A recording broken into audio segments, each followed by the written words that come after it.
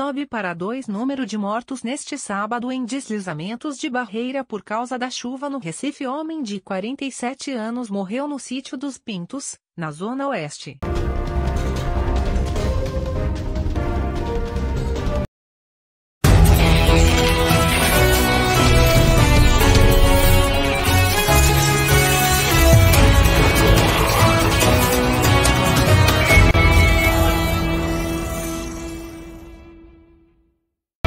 Manuela Dávila descarta concorrer nas eleições de 2022. Não são os mandatos que me fizeram um militante nome da ex-deputada, filiada ao PCdoB, era cogitado para o Senado em composição com o PT no Rio Grande do Sul.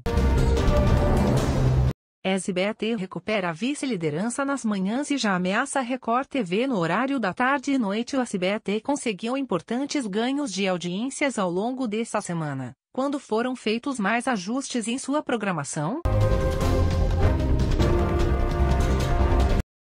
Pelé projeta grande final entre Liverpool e Real Madrid. Empolgado rei do futebol afirmou que Vini Júnior e Casemiro terão grande desafio contra Alisson e Fabinho. Duelo terá transmissão ao vivo do SBT.